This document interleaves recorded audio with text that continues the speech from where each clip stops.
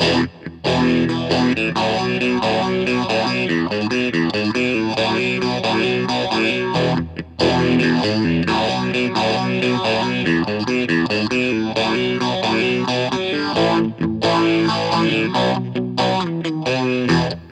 and welcome to another edition of Lowdown with MusicGearFast.com.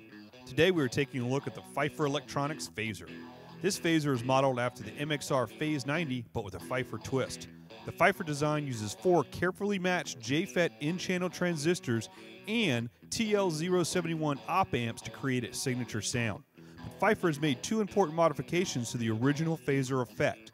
First, in order to gain more control of the sweep and have both script and block phaser capabilities, Pfeiffer added a depth knob. When this knob is turned fully clockwise, you have a script phaser. Any other position of the depth knob results in different variations of a block phaser. The second modification Pfeiffer made is the addition of the feedback knob. This knob controls how much of the output signal is fed back into the input path.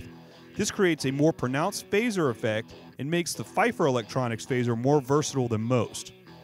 Add the rate knob to control the oscillation speed, and you can recreate some of the most recognizable phaser sounds from Eddie, Floyd, and others.